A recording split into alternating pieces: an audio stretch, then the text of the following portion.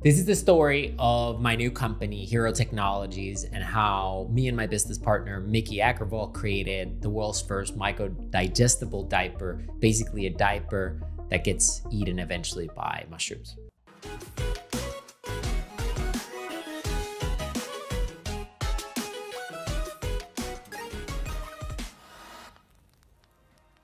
The world is facing a massive plastic crisis. The plastic crisis is so huge that most people don't even realize. I think most of us realize that plastic is an issue, but there's now more plastic by weight than all the weight of every animal on the planet Earth. It's just insane and it's compounding as plastic gets degraded slower and slower. There's also downstream issues both for the environment and our health in microplastics as those plastics break down. Um, they create microplastics that end up in our water supply, food supply, fishes, and whatnot. And this is obviously a massive problem. So I grew up in a hippie community and I was fairly acutely aware of a lot of the environmental challenges we face, but I still didn't have a solution for plastics.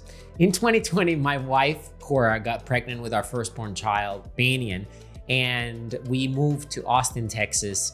And at the same time, was reconnected with someone I had met like almost a decade earlier through this community called Summit Series. And her name was Miki Agrawal. And she was this very successful serial entrepreneur and super inspiring human. And we both moved to Austin at the same time and we connected. And this was just before Banyan was born. And Mickey shared this vision that she had to create a diaper that would biodegrade by using mushrooms. And she had this, she'd been talking to all these experts, some very famous scientists, and about creating it, but had not gotten traction. She was like, we should do it together because you know a lot of mushrooms.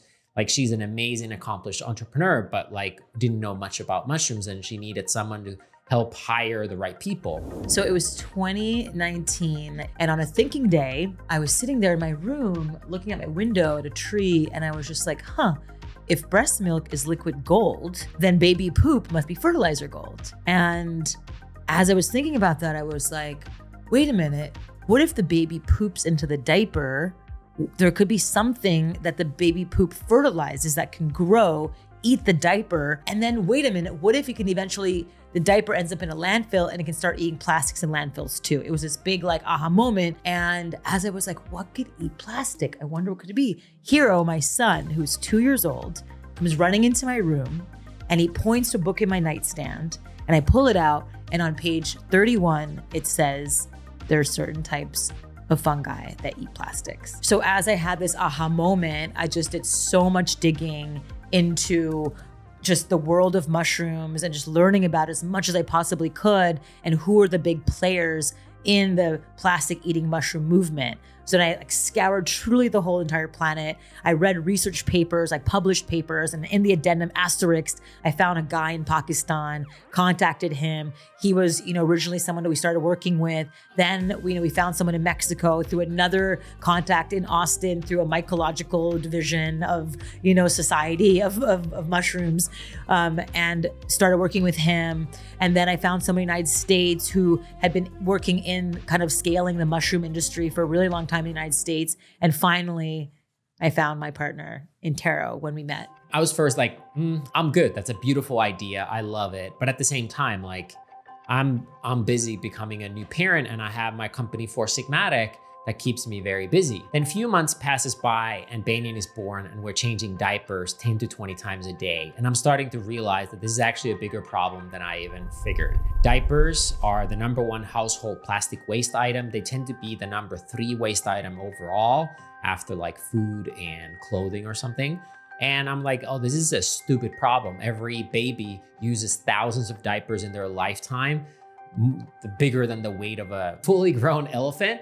And I was like, there needs to be something with it. At the same time, my wife was like, you're crazy if you don't do this. And I'm like, I don't have time like to do this at all. And she was like, well, then you work nights. And that's what we did. And I joined forces with Miki. Uh, I would work daytime at Four Sigmatic and nighttime, I would try to figure out how can I help her find the right people to can actually build it because I didn't have the bandwidth to build in myself. And then I scoured through my network and found amazing PhDs and different scientists and mycologists to come solve this problem with us. And it took us three years of trial and error to not just to find the species, but also how to bring it to life. We are here doing our very first review. That's a poop pellet right there. Mushrooms are actually growing all over them. This is crazy. For me, like creating this company is really about a culture shift. It is a frontier business. It's never been done before. There is no manual to create plastic eating mushroom, scalable, technologically advanced company, especially first product being a diaper, which is so highly technical. And so we had to actually create the Ocean's 11 team of literal interdisciplinary, multidisciplinary, talented people who are such like like I call them swords for each one of these industry, whether it's a microdegradation expert, biotech expert, whether it's a bioreactor engineer, whether it's a um, you know again like, like true degradation people and and PhDs are so hard to find. But we literally, again, by the grace of the universe, by the mycelial kingdom grace, we were able to literally put the most dynamic, multidisciplinary team together that we call it the Ocean's 11. We're so proud. We literally started with anything is possible and looked at like all the species, fungal species on Earth. And there's, by the way, like more than a million of them, um, supposedly. And we looked at all the science that exists today and we found like 135 species that showed promise. And we tested all of them against the five types of common plastics in diapers. And we found 34 species that performed well. And we've now done extensive research on the best of the best of them. Um, but that was not enough because this is a living organism, a fungi that will then grow. But then we can't have it grow on the baby. So we have to solve a way how we can immobilize it so it stays dormant until the right time and the moisture and conditions happen, in this case, pee and poop. And then at that point starts to grow and use plastics as a fuel. So as a team, you know, the things that we figured out how to do was how to immobilize, so basically freeze the mushrooms, how to encapsulate them, so actually put like a little capsule around them, and then how to scale them. So then when the baby poops or pees, they re-wet the the the bead and then it wakes up and then it starts eating the plastic and the process of figuring that out was such an intensely wild process. I'm so proud of our, our Tero and our science team to have figured it out. And it's a process where it's a constant evolution and we're in the global experiment of helping solve the global plastic crisis, one baby poop, poopy diaper at a time. So now we have the species, we figured out how to immobilize it. Now the next task is we have to produce it. There's nobody else producing it. So we basically had to create our own supply chain of creating bioreactors. Like think of like brewing big tanks of beer, but growing mushrooms instead of beer and finding these like bioreactor experts that can know how to do it. And nobody's really done that part either. So we had to leverage experts from other fields and bring them together to create them. You would think that the job is done, but no, that's just the Hiro technology, the, the fungal species that we can then apply to other consumer products. But our first product was a diaper and wipes, and you need to design those too. And you would think it's also simple, but we wanted the diaper to be actually a better diaper than other diapers. We want it to be softer um, higher performance or absorb better, not re-wet. There's a lot of technical things. So we scoured the world and found these like top diaper testing uh, experts.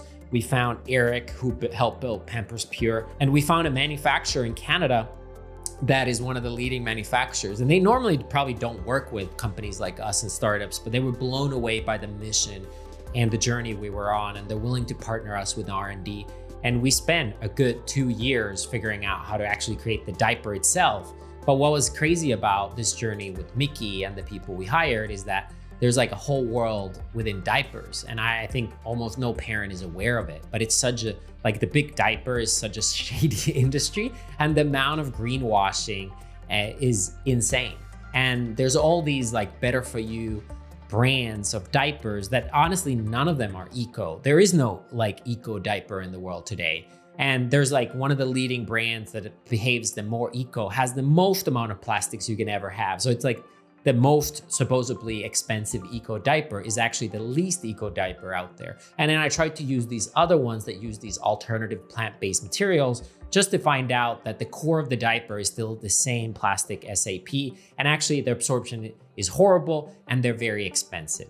So when I used eco diapers for the first time, I was I felt better about myself, but I then very quickly found out that they performed super poorly within you know, a second of the baby peeing, similar to the uh, cloth diapers. I had to change the baby. And so I actually had to change the baby almost twice the amount using the eco diapers, which are, by the way, not eco. They still take, you know, 100 years to decompose in a landfill. And actually, bamboo is a harder fiber to break down when you're when you're mixing it with plastic than actual pure plastic diaper. So it's a pure greenwashed bull too. What's interesting is like we've ended up with a worse diaper with these eco diapers than the normal diaper from an absorption point of view. We ended up with a worse diaper from an ecological point of view. They probably create more microplastics and it's also more expensive. Uh, a lot of diapers are bought on food stamps and it's sadly the case where like affordability is also an issue. Now, almost four years later, we're at a point where we're ready to like launch this product into the world. Um, obviously, it's the first generation. It's like imagine like a Tesla or something like the first Roadster. It's not as good as the following cars, but it works. It proves that you can drive a car, an electric car, all over, and it it's awesome. It looks great, works great, it's fast. And the same way with our diaper, it's high performance, very soft, um, a beautiful diaper um, that does the job, and so does the fungi. And we're, we're so excited to do more research in the upcoming years for different kinds of purposes, for collecting energy in landfills, to do more ecological uses of the same technology for other consumer plastic products. Because the same, uh, you know, the polyethylene, the polypropylene, the PET, the SAP that are found in um, diapers are also found in most consumer, this, you know, single-use plastic items and they're they're in landfills all over the world. So there's a lot of applications we can use these for later as well. This is just the most incredible Kismet aligned project. When I think about starting Thinx or Tushy, there's a lot of like kind of like grinding that had to happen to really change culture, to really get the teams aligned, to really make make it happen. Whereas with Hiro so far, it's been the right people at the right time showing up. The company is named after my son Hiro. Um, Hiro Happy, my sweet, my my pride and joy. And he inspired the idea for Hiro Technologies for this company. He's the one that pointed to the book in my nightstand to actually come up with the idea of plastic eating mushrooms. Like, wouldn't have even thought about it if he didn't come into the room and point to the book. So, yeah, it, it has an extra special place in my heart because it's named after Hiro. The possibilities are endless. I don't know where this is going. I honestly didn't know where this was going almost four years ago when Miki invited me to the journey. I just knew that the world needed it and my wife was encouraging me to do it. And I'm so lucky for the people who actually did the work because Miki and I just put this thing in motion. But the people who actually worked long 60 plus hour work weeks to design it are the true heroes behind Hiro Technologies. And obviously, all the moms and consumers that helped us co create this product. It's really this global movement and experiment to figure out how can we use nature to heal nature and how do we harness nature solve the problems us humans have created as population has increased and technology of various manufacturing has created these novel problems like the plastic crisis. So it's this experiment. I'm glad you're watching this video. Hopefully you can join into the mission one way or the other. I don't know where it's going. That's also kind of the beauty of, of a startup. You're building the plane while trying to fly it. So, but I'm excited for the potential and I hope this also inspires other entrepreneurs instead of creating like the next drop shipping Amazon affiliate business, taking that same or an app uh, for social media, taking that same brain power and energy and passion to create actual science and advance actual biology or physics or other forms of actual science in this world and create um, solutions for for the many modern problems we have, not just environmental, but any problem. And I think that would be beautiful. And I hope more and more people will do that as well. Isn't that cool? It's insane, actually. And right now, we're at our launch party here in Museum of Ice Cream in Austin, Texas. It's 15 minutes before people start showing up. But if you're passionate about this topic or this cause, check out our Kickstarter below and, you know, support in any way or share with your friends. Thanks for joining for this video and I'll hope to see you in the next one. Ciao, ciao.